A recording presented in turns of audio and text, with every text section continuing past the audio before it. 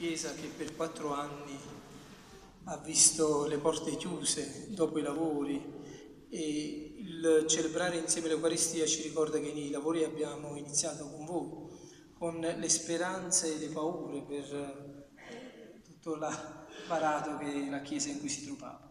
Il secondo grazie è a nome anche di Giuseppe, Luca e Mariano per questi nostri 20 anni che abbiamo ricordato insieme nell'Eucaristia. 20 ehm, anni di imperfezione pure, perché non siamo stati sempre bravi, nel senso che abbiamo cercato di vivere il nostro sacerdozio secondo il pensiero di Dio e riconosciamo anche le nostre cadute, le nostre infedeltà. Per questo noi a volte chiediamo alle comunità di pregare per noi, perché quando muore un prete qualcuno dice vabbè non c'è bisogno delle messe, noi diciamo invece io dico no, bisogna pregare soprattutto per i sacerdoti, sia defunti che vivi. Quindi noi stiamo qui per dire il nostro grazie a Dio per questi, anni, questi dieci anni e grazie perché insieme abbiamo vissuto questa esperienza attraverso l'Eucaristia.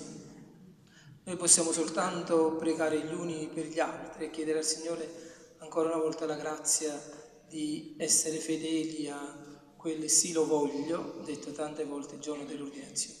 E come dice San Paolino in una lettera ad Agostino, quando celebri l'Eucaristia ricordati di me, perché io mi ricorderò di te all'altare del Signore.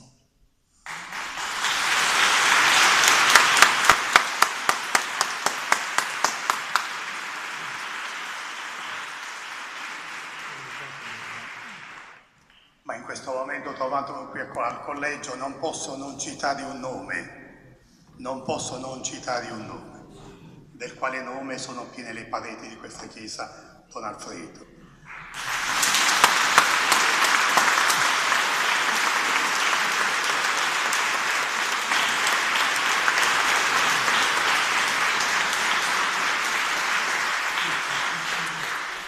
Don Alfredo è la promessa e su quella promessa c'è l'eredità.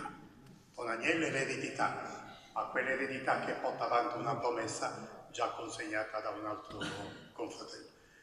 E poi ai quattro confratelli sacerdoti il mio augurio, sono quattro bravi preti, ma non per complimenti, eh. sono quattro bravi preti impegnati in diocesi che hanno il senso della Chiesa, hanno il senso anche del, del Vangelo, sanno stare in mezzo ai laici, questi quattro preti che possono risvegliare domani, oggi, la bellezza di essere e vedete che bello, è stupendo, ma se si vive il sacerdozio in pienezza, senza cadere nelle mediocrità o nei compromessi. Il compromesso è la malattia terribile nella vita dei preti soprattutto. Auguri a voi quattro.